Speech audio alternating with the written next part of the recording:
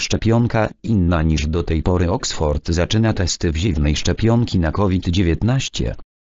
Oxford przetestuje wziewną wersję szczepionki przeciw COVID-19.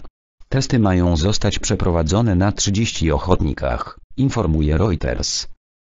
Szczepionka, której testowanie rozpoczynał Uniwersytet Oksfordzki we współpracy z firmą AstraZeneca, ma być podawana donosowo. We wstępnym badaniu weźmie udział grupa 30 ochotników w wieku 18-40 lat.